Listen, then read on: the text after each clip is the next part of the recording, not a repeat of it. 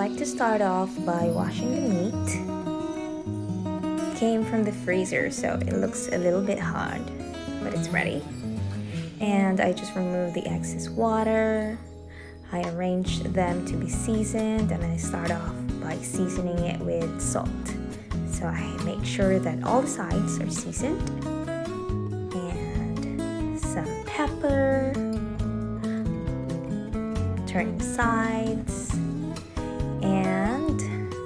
I also like to put a generous amount of garlic powder. And I like to leave it on room temperature for like 10 to 30 minutes. I usually soak my rice overnight, but last night I forgot.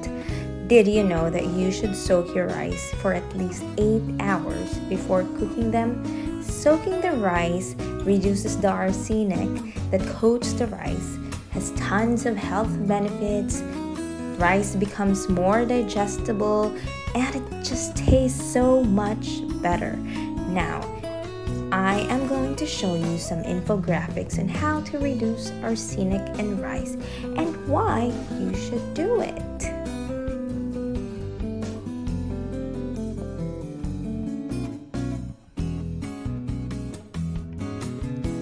Going to use our Instant Pot to pressure cook the meat because that's what we're gonna do first.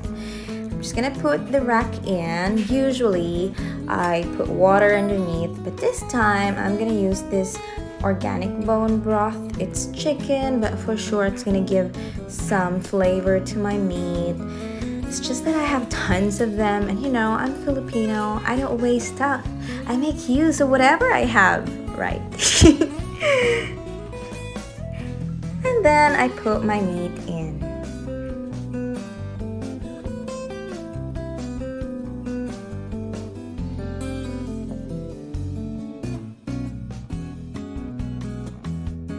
I press pressure cook on high and then start.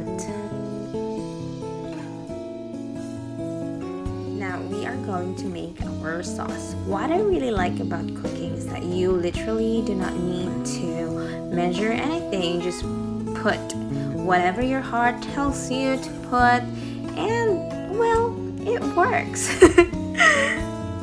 I've also been pescatarian for more than two months now. I only eat seafoods, vegetables, and that's it. So I don't really taste whatever I serve my husband, and so far, he never complained. A chef once told me that the best way to see if what you're cooking is good is by smelling it, and that's what I have been doing.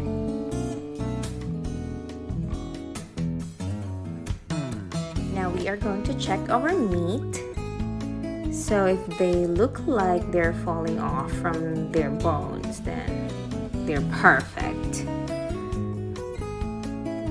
The final step is to broil the meat. So I take a tray and put aluminum foil on it. I prepare my sauce and take the meat out from the pressure cooker and dip it in the sauce like so.